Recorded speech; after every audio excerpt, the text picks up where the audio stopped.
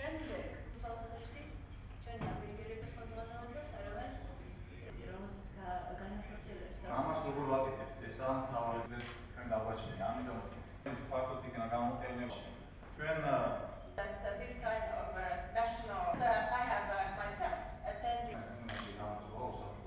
იყო კითხვები დასმული ახალწლოვლებთან დაკავშირებით და ჩვენი განმარტება გავაკეთეთ იმასთან დაკავშირებით, რომ რამდენად მნიშვნელოვანი არის აღნიშნული ინსტიტუტის შენარჩუნება ჩვენ შერაულ ძალებში, რამოდენიმე ფაქტორის გათვალისწინებით, ასევე ვისაუბრეთ რეზერვის კუთხით ახალწლოვლების გათვალისწინებით და მნიშვნელოვანი იყო ასევე ჩვენი მეგობარი ქვეყნის წარმომადგენლების, ფინელების კომენტარი აღნიშნულ სისტემასთან დაკავშირებით. განვიხილეთ უსაფრთხოების გარემო უსაფრთხოების გარემოსთან მასში განვიხილეთ ასევე ის რეფორმები, თუ როგორ უნდა უპასუხოთ იმ გამოწვევებს, რომელიც დღეს რეგიონში არსებობს.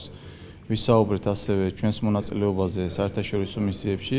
So we have had a mandatory conscript service for every man and now for 20 years also it's voluntary for women. And we have like this year 800 women voluntarily serving in defense forces as well, 6 to 12 months. For Finland, it's mandatory because we have 1,300 kilometers border with Russia, and which is more kilometers than the whole other EU together. So we have a big country to defend, and that's why we, need a big reserve. And to create this size of reserve, only way is through a mandatory conscript service.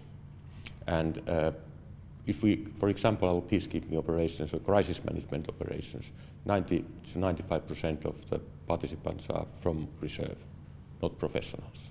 And if you compare them in Afghanistan, Iraq, Central Africa, Mali, anywhere where they're working with the uh, professionals, we can say that they can fulfill their tasks very well. And it's also vital for our uh, nation's will to defend the country, the conscript service. I think that is the foundation of our highest will to defend the country in the world.